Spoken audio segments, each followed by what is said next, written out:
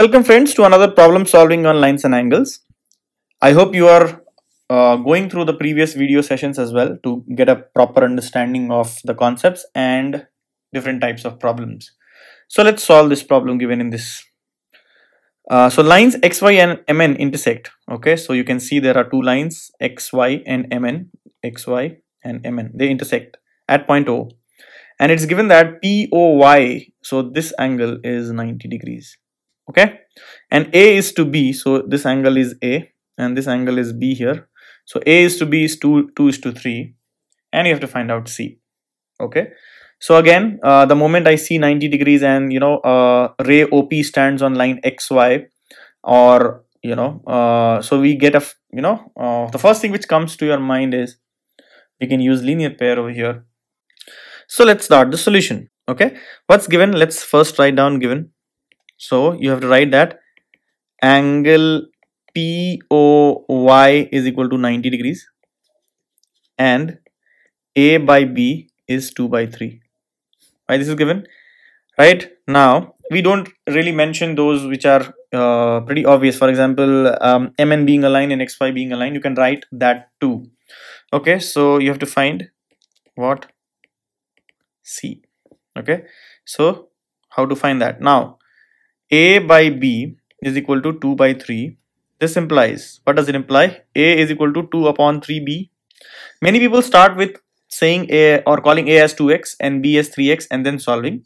You can do that or this. So hence I use this, this method. So A is 2 by 3B because it saves me another variable. Anyways, so now angle POX and angle POY form a linear pair. So angle POX and POY form a linear pair. What does that mean? It means angle POX plus angle POY plus angle POY is 180 degrees. That is what we have learned, right?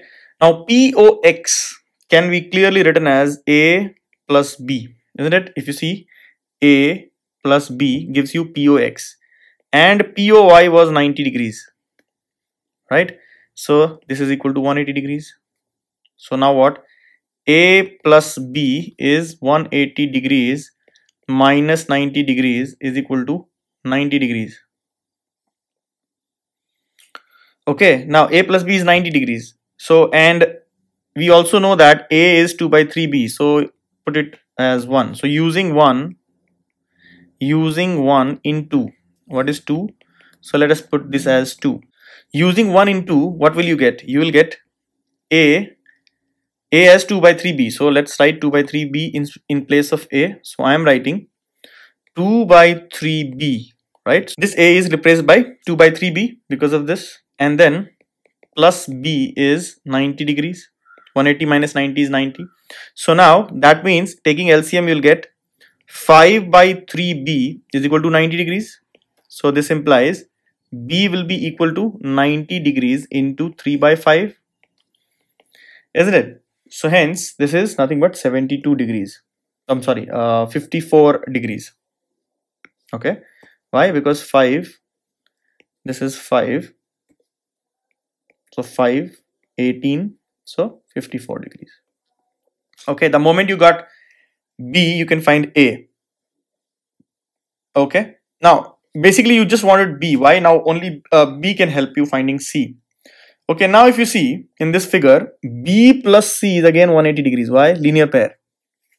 Okay so you can write here b plus c is 180 degrees. Why? You can again write linear pair. That means c is equal to 180 degrees minus b which is equal to 180 degrees minus 50 4 degrees which is nothing but 126 degrees. This is what is the value of c. So what is the learning from this problem guys? So the moment some information is given you know uh, uh, what information was given? 90 degrees was given and then a and b ratio was given and lots of straight lines you could see. And you know that in a straight line the total angle is 180 degrees linear pair right? So using that uh, concept and the given information we could convert the problem into algebraic equations and we solved equations to form to find the given value That was C in this case. I hope you understood how to solve these kind of problems.